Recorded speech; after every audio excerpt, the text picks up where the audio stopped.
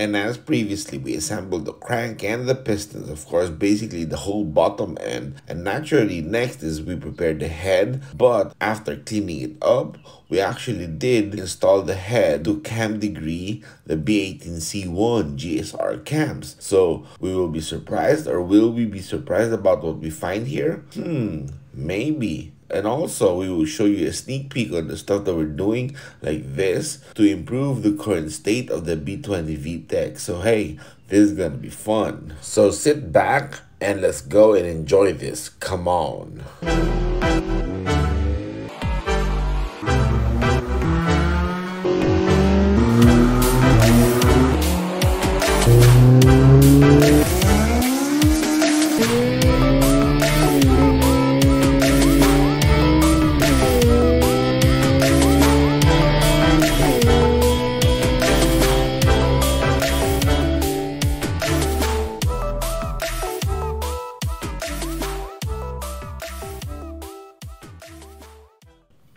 First things first, we're replacing the ITR manifold with this Skunk2 Pro Series ported intake manifold and we're actually porting it to our updated specifications of ported manifold or as far as porting the manifold go. And of course, as we did that, we also did this. We did a cleanup of the current PR3 head of Mac, Max B20 VTEC, the owner of this engine.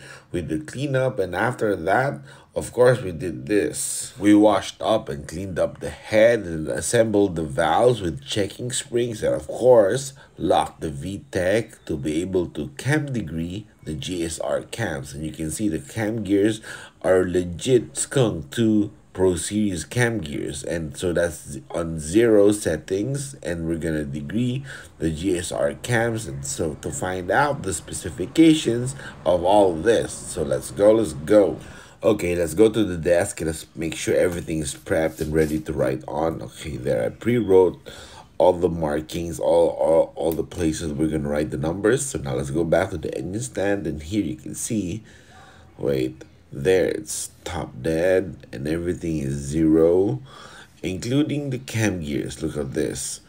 Let me show you. Look at the exhaust. Wait let's focus focus. There it's zero. Yep and then the degree wheel with focus there it's top dead all right so let's start with the intake now the opening figures and we stop at point zero fifty. here we go it's after the exhaust, so we keep going, keep going. Yep. And come on, it's getting there. There. The intake. Okay, look at that part. They're starting to move. Okay. We stop at 50. There. Oops. My pen. Okay, okay. Wait. Let me just unclip the phone and show you guys. Okay, there. It's 50. And it's it's 5 BTDC, all right? So let's go to the desk and write it down. Okay, it's 5 before top dead center, all right? Okay, now let's go back to the engine stand and check for the closing point. Okay, we keep going. Yep. Yep. There you go. And come on, keep going, keep going. Okay, that was the maximum lift. Okay, I wrote that down. I remember that. All right. Okay, keep going. Come on, come on. Switch arms. I double check the lift later off camera. So, okay, there. Okay, point zero fifty. So let's see, it's point zero fifty, and Okay, it's 41. After bottom dead center. Okay, let's write this down. And then we head off back to the engine stand for the exhaust. Yeah. All right, here we are. That's the exhaust. Yep. Okay, we go turn it. On the opening, we stop at point zero fifty. All right, going. It's getting there. Come on, come on. Wait, there you go. Okay, that's moving now. We stop at point zero fifty. There, all right? Yeah. Okay, let's unclip the phone and show you guys. There's point zero fifty. And yep, one, two, three. Okay, 35 before bottom dead center. Okay, let's go to the desk. Let's write this down. All right, it's 35 before bottom dead center. All right, let's go again. Yep. Okay, for the last time, we go for the closing now. All right, we keep going. Go to the max lift and then keep going again and then stop at the closing point at 0, 50. All right. There you go. Okay. Oh no. Okay. Now, I went over it. Don't reverse the turn. Don't turn clockwise. Keep going counterclockwise because the belt stretch and all that will change the readings all the way. So, since I went over it, we go for another full turn. All right. There you go and then you do it again to be able to stop at 0.050 don't turn it around clockwise because it might change the readings you know? Okay here. All right there you go it's 0.050 it's 7 after top dead center. All right let's go. Okay so we write that down. It's 7 after top dead center. All right now let's calculate the duration. So 5 plus 41, that's 226 degrees at 0, 50 duration. Right, there you go. And then the lift is 0 0.4112.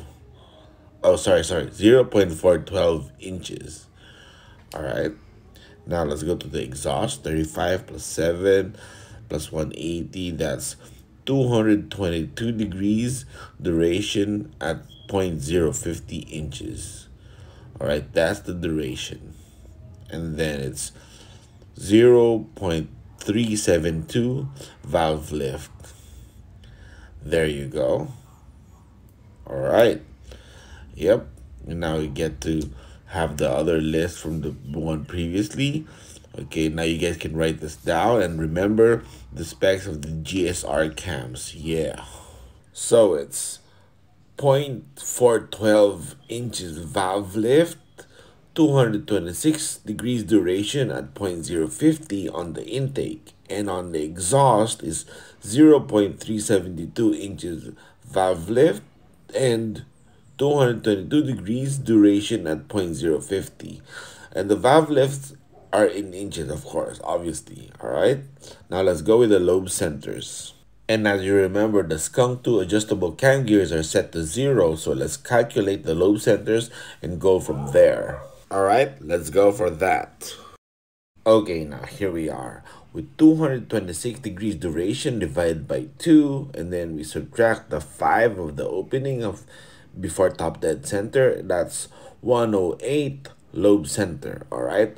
So now let's head to the exhaust. It's 222 divided by 2 so that's 111 subtract 7 of the after top dead center we get 104 lobe center. So it's 108 lobe center on the intake and 104 lobe center on the exhaust right yep. And remember, this is the adjustable cam gear set on zero.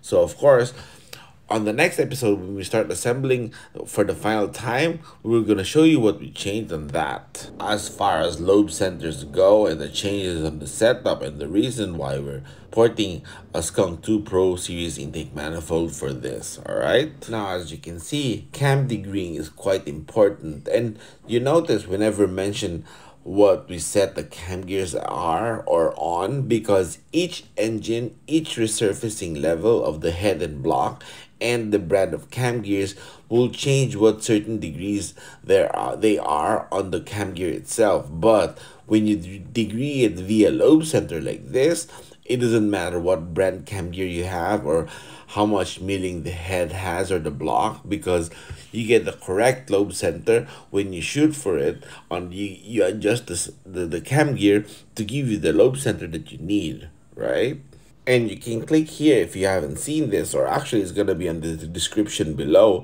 This is the how to cam degree video that we did last year and we used the Skunk 2 Pro 2 cams on this on the B20 VTEC that we were building back then.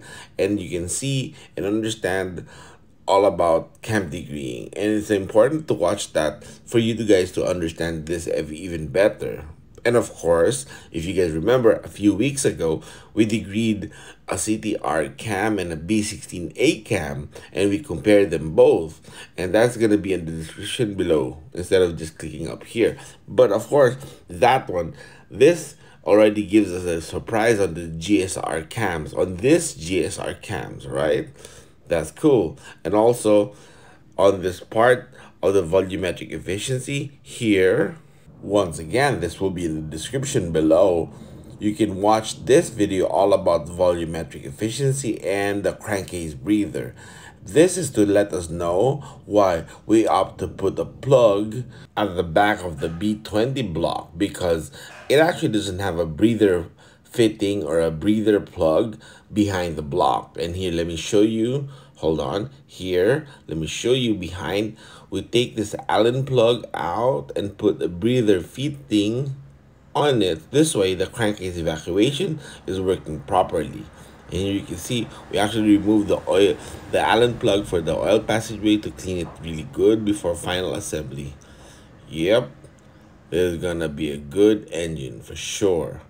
And also this one here, the Skunk 2 Pro Series intake manifold is receiving the latest iteration of our ported intake manifold because, you know, as the years go by, we try to keep developing an even better approach to porting an intake manifold. So, hey, this is hopefully going to do a lot better than previously right so basically what we're shooting for on this b20 vtec is that because it's an oem gsr cam we want to see how much more we can max out as far as the power goes. This way it's a fun little thing because you know it's like a minimized aftermarket components but you're still making more power.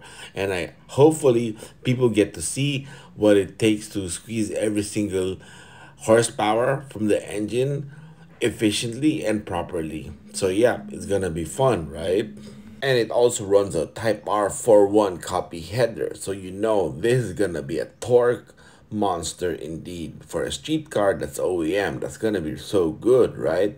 And on the end screen of this video we'll have a playlist of all the shop work that we do because you know that's what's good for you right? And also once episode 4 is done you can definitely click right here